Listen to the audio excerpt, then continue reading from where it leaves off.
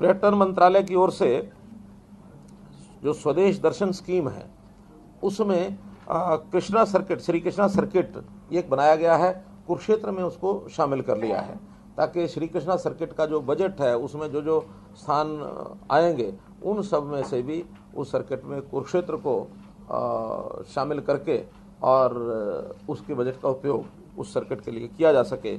इस स्कीम के तहत जो कुरुक्षेत्र के तीर्थ हैं, उनको तो विकसित करेंगे ही।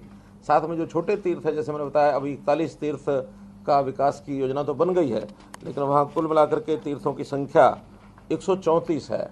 इस अड़तालीस कोष में एक सौ चौंतीस स्थान ऐसे हैं छोटे छोटे गाँव में भी ऐसे प्राचीन महत्व के स्थान वो हैं। कहीं सरोवर बना है, कहीं मंदिर बना है, कहीं बहुत पुराने काल के ऐसे अवशेष उसमें मिले हैं। उन सब का भी विकास करने की बात ये उसमें है। जहाँ तक पेयजल और स्वच्छता मंत्रालय भारत सरकार का विषय है, उन्होंने कुरुक्षेत्र स्थित ब्रह्म सरोवर के आसपास ब्रह्म सरोवर को, भारत के जो तीस तीस स्वच्छ स्थलों की सूची, यानी ब्रह्म सरोवर, स्वच्छ स्थल, ये रहे हमेशा के लिए, उसमें शामिल कर लिया है।